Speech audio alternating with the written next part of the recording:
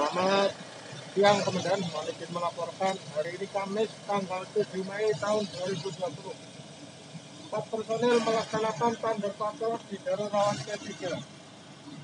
Perbankan jalur ramai, jalur sepi. Tadi terakhir di Wihara Dusun Tegal, Desa Karangmangu. Terpantau tidak ada kegiatan waisak, situasi aman terkendali itu yang bisa dilaporkan dari di Karangmangu. Selamat siang.